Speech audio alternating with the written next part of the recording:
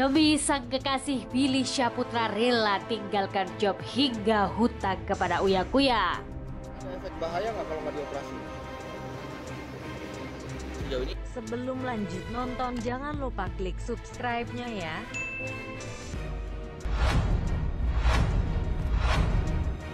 Kabar kurang sedap datang dari kekasih Billy Syaputra, Elvira Caroline. Pasalnya wanita berusia 25 tahun itu kini tengah menderita sakit. Ditemui usai mengisi sebuah acara pada salah satu stasiun televisi swasta kemarin, Selasa 27 Agustus 2019. Adi almarhum Olga itu pun menceritakan kondisi sang kekasih.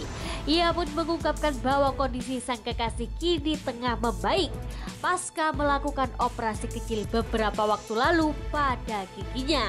Saat disinggung penyebab sakitnya Elvira, Billy pun menjelaskan bahwa sang kekasih mengalami tumbuh gigi bungsu sehingga terpaksa harus dioperasi kecil.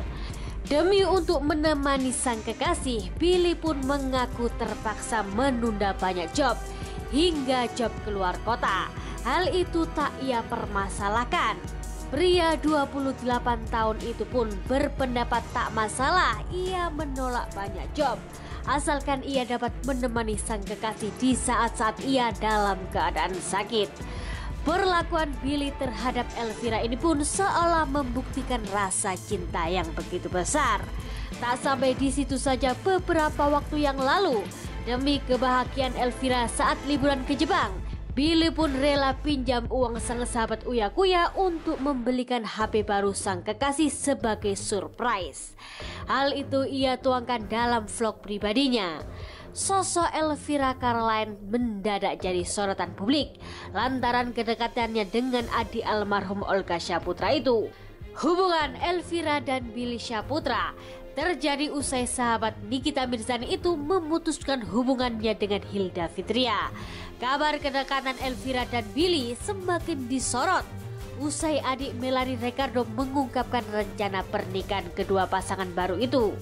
Benarkah kini Billy tengah dimabuk asmara dengan kekasih barunya? Ataukah hubungan keduanya hanyalah settingan untuk mendongkrak popularitas semata? Entahlah, kita tunggu saja ya pemirsa.